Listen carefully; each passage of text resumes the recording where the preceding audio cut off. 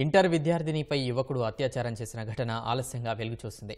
ఎన్టీఆర్ జిల్లా విస్సన్నపేట మండలానికి చెందిన విద్యార్థిని తిరువూరు వసతి గృహంలో ఉంటూ ఇంటర్ మొదటి సంవత్సరం చదువుతోంది. అదే గ్రామానికి చెందిన తోట చందు ప్రేమ పేరిట రెండు నెలలుగా బాలిక వెంట పడుతున్నాడు.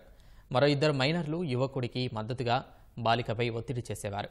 ఈ నెల పదిన బోసుబొమ్మ కూడెల వద్ద బస్సులో వెళ్తున్న బాలికను బలవంతంగా మిత్రులతో కలిసి బైక్పై తీసుకెళ్ళాడు. స్థానిక కూరగాయల మార్కెట్ వద్ద భవనంలోకి తీసుకెళ్ళి అత్యాచారం చేశాడు.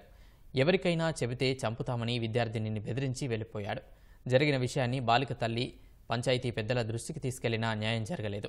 దీంతో ఆమె పోలీసులకు ఆశ్రయించారు. బాలిక ఫిర్యాదు మేరకు నిందితులపై పోలీసులు పోక్సో కేసు కింద నమోదు చేశారు. మా సర్కిల్ పరిధిలో విశాఖపేట మండలం ఒక గ్రామానికి చెందిన బాలిక ఇక్కడ తిరువూరులో కాలేజీలో ఇంటర్మీడియట్ చదవడం జరుగుతుంది. ఈ ఈ బాలికను తోట చందు అనే వ్యక్తి ఇతను మీద దొంగతనం కేసులు కూడా ఉన్నాయి ప్రీవియస్గా. ఇతను ఈ అమ్మాయికి కాలేజీకి వచ్చే టైంలో ఈ అమ్మాయికి మాయమాటలు చెప్పి ఈ అమ్మాయిని రేప్ చేయడం జరిగింది. దీని మీద కేసు కట్టి పోక్సో యాక్ట్ కింద కేసు కట్టి దర్యాప్తు చేస్తున్నాము.